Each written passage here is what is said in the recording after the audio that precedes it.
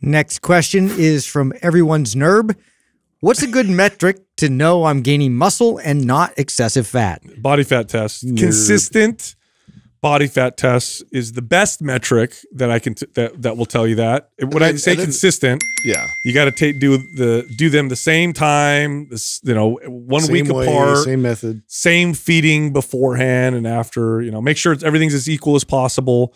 The body fat tests of choice would be underwater weighing is probably the most accurate or consistent. The calipers would be the next one with some with the same person testing you, by the way, because people have a little bit of variance how they test. Those bod pods are pretty accurate. And the electric impedance is probably the worst. Um, Those are And- most accurate, but strength and waist, like you recommend a lot, I think Yeah. is a, there you go. I was just going to say because a lot of people are like, well, how do I test? Yeah, right. I'm not gonna take body fat every single week. It's Yeah. gonna be so hard. If but your strength is consistently going up and your waist size is going down Or or staying staying, the the same, you're probably You're probably gaining right track. muscle and not Yeah. body fat. I would say that's probably the, the that's the two to me, best that's the the cheapest, easiest way to consistently check on it, right? So not everybody has access to a, a you know skinfold calipers or a body fat test machine or whatever like that, and so.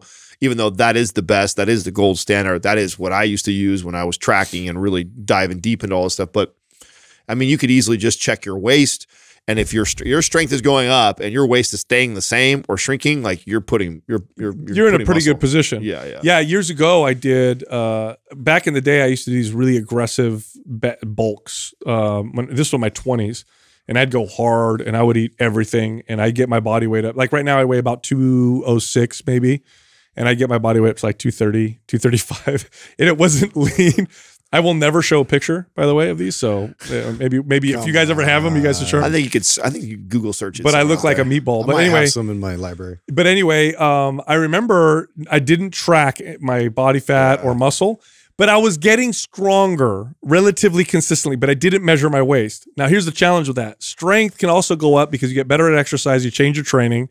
And fat actually, in some lifts, improves your leverage. Yeah. If my waist grows because of body fat, I can some often squat more as a result if for you know for whatever reason. So when I finally did do the body fat test at the end, I found that I gained 30 pounds on the scale, but like seven pounds of lean body mass. So it turned out to be a fat bulk, uh, much more than I remember how discouraging that was when I because I did that for years. That was like the method: get crazy bulk and then try and get lean afterwards. And I remember the first time I did the dunk tank where I did a huge bulk just like that. I was up 230, 240, uh, then cut all the way back down to like 205 or whatever, all to gain like one pound of muscle. Yeah. Like it's so discouraging. put your body through the Oh, whole Gaining yeah. lean muscle takes such a longer period of time. I think oh people my realize. god! And then and Lean so muscle. so easily goes away when you're living in a caloric deficit Yep. and doing cardio and doing everything you can to burn. And that was part of when I learned that whole lesson, even with cardio and stuff. Was like, man, you go so hard, you gain 20 pounds, 25 pounds on the scale, you know, all in the pursuit of building muscle. And then you go cut back down, and I end up with one more pound of muscle than what I started with six months before with all that hard grinding and Yep. dieting. I mean, that's just that's crazy. Yeah. Where you could have just gradually done it and easily accomplished the same thing. Yeah, so uh, waist is good for women. You can go waist uh, and hips. Only problem with hips is your butt will grow, so that can change that.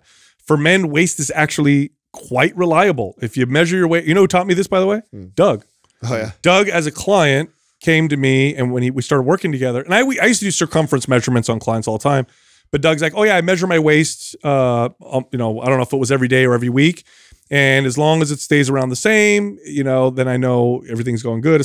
I'm like, oh, absolutely. If you look at the studies on this, you can actually, they can. I mean, it's not going to be nearly as accurate as body fat test, but of all the other metrics that you can do that are easy and cheap for men, especially waist measurement will predict fat Especially gain as or we loss. age, right? It's Totally. like Yeah, no, I like most of that. body fat. I like um I like pictures too. I know I know they're much more subjective to do. You're so objective. That's why it's good for you, though. Yeah, you're see, good at being honest with. Right, and I and I would take so I would my clients I used to actually make them take photos every Friday, and then what I would do is I would show them like you know I'd wait like four weeks so they could see I could see it week over week if we're making progress off of photos, and but then I would point out areas like see this area right here, see where you were holding more body fat, look how you're leaning out here, like because they'd be like I don't feel like it, I don't feel like I'm changing at all. Sure you are. Look back at this picture right here four weeks ago. Look at this week's photos.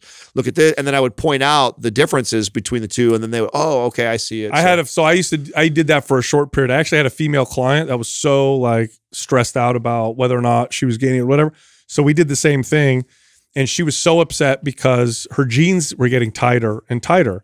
So I pulled up her pictures and I showed her the difference between the two, and I said, and it was a side shot of her.